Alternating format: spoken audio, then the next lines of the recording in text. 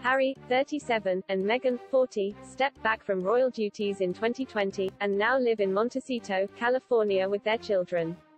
The couple welcomed Archie, now two, in 2019 and then welcomed Lilibet, Lily, Diana last year. Baby Lilibet was born in June, at Santa Barbara Cottage Hospital in California and her name derives from a sweet nickname for the Queen. The youngster has not yet had a chance to meet her namesake, as since moving across the pond Harry has made two return trips to Britain but never with Meghan and his children in tow. Royal watchers have only caught one glimpse at the young baby after she made an appearance in the Sussexes' 2021 Christmas card photo.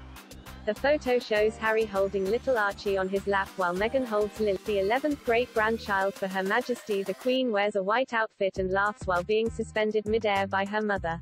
Despite their link to one of the most famous families in the world, Harry and Meghan tend to keep their family life quite private. A few anecdotes about the children have been shared by their parents but otherwise, Lily and Archie are relatively sheltered from public life. Kinsey Schofield, a PR expert, claims that the couple will continue to share details about their children because they are their world. She told Express.co.uk, Harry and Meghan will continue to talk about their children because their children are their world. The two are incredibly isolated in Montecito, COVID restrictions, in addition to the type of work Meghan and Harry are involved in, has also impacted their home life leading to them being isolated, Ms. Schofield claims. She says that because the couple is so hands-on due to these factors, parenthood is Meghan and Harry's favorite subject to discuss.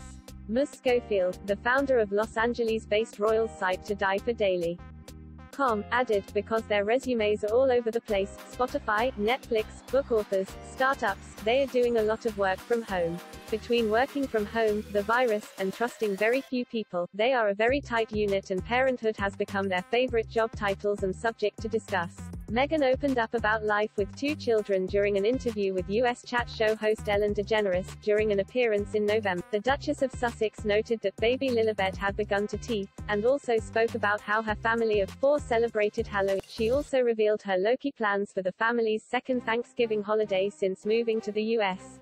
She said, I love to cook, and will be home and just sort of relax and settle. It's our second Thanksgiving at home in California. While in July, Harry said it's a juggle to balance two children during a surprise appearance at the 2021 Well Child Awards in London.